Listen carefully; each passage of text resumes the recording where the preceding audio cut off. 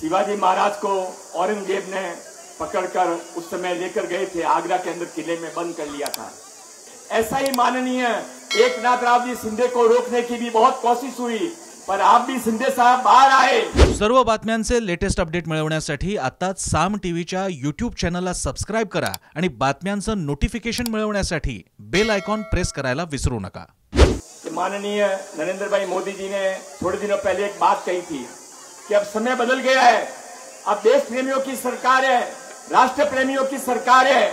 जितने हमारे नाक को काटने वाले, जितने हमको अपमानित करने वाले काम यहाँ पर हुए हैं, उन सबको हटाया जाएगा, उन सबको ध्वस्त किया जाएगा।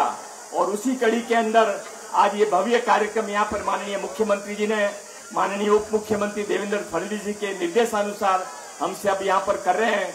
मैं अपनी बात समाप्त करने से पहले एक छोटी सी घटना ज़रूर याद करना चाहूँगा। शिवाजी महाराज को औरंगज़ेब ने पकड़कर उस समय लेकर गए थे, आगरा के अंदर किले में बंद कर लिया था। पर शिवाजी महाराज ने खुद के लिए नहीं, पर हिंदवी स्वराज्य की स्थापना के लिए वहाँ से तरीके से बाहर आए और बाहर आए इसलिए भारत के अंदर हिंदवी स्वराज्य की स्थापना कर सके। ऐसा ही माननीय एक नाथ राव जी शिंदे को रोकने की भी बहुत कोशिश हुई। पर आप भी सिंधे साहब बाहर आए, और आप बाहर आए तो आज ये उल्लास है। महाराष्ट्र के अंदर राष्ट्र प्रेमियों की हिंदुत्व की सरकार आई है।